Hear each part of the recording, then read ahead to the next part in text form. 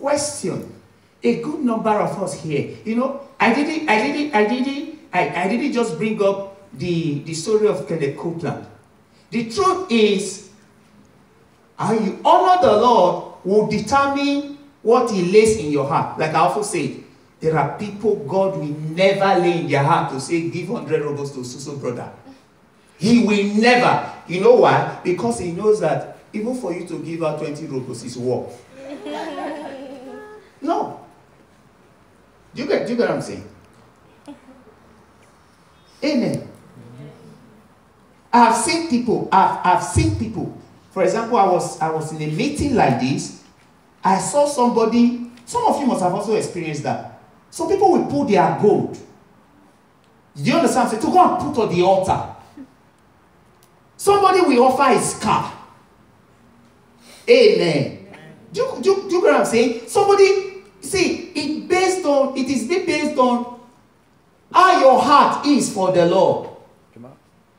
Amen.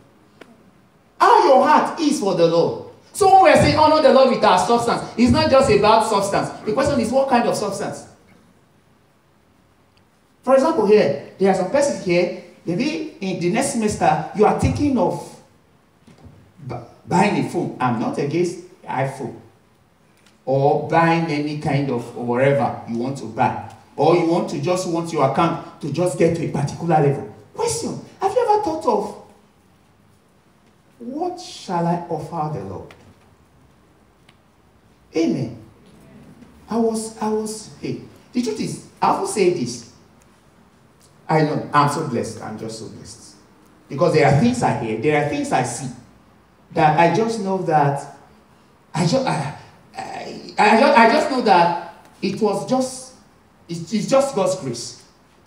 For example, for example, a man of God, I was listening to a man of God this is not even given to this is not even given to um, um, um, um, to God. I mean to what I mean. This is not even church giving.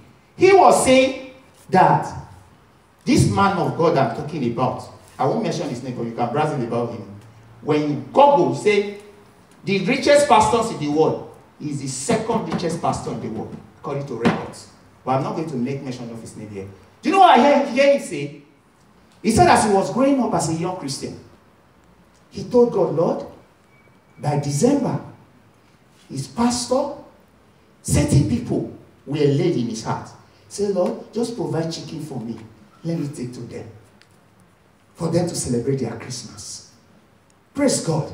He said a time came. He said, Lord, I want to give something like a ram. You know? Do you understand? Say, because it's Africa setting.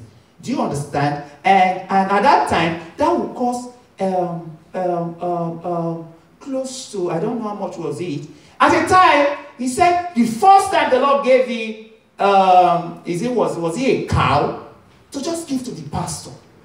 Why? Said he was so excited that the Lord provided it for him. Wow, that blessed me. Amen.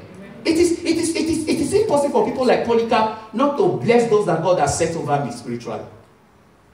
I'm a, I also attend Catholic Church. It is impossible for me not to bre- also bless Reverend Fathers. Amen. It's impossible, apart from blessing pastors. It's impossible. So, so we're talking about honoring the Lord with your substance. I'm talking about what kind of substance? What kind of substance? How do you honor the Lord? Have you ever sat down to say, how much do I use in a month? And how much goes to church? Popular John 3.16, we're not just going to put, you can put it up. Popular John 3.16 says, For God so loved the world, there was no full stop. What did he do? He gave. He gave. For God so, that means, if you so love God, what do you do? You give. You give. Giving, uh, lo- uh, God I love you is not just about, no, it's not just about lip service. If you truly love God, no, imagine husband and wife. You know, actually, there are some husbands that can be very funny. Very funny. You're always saying, I love you, I love you, I love you. But your hand is. The truth is, you, see, you don't really love your wife. But you see, you see, you also see that, we also see now that giving is also an expression of love.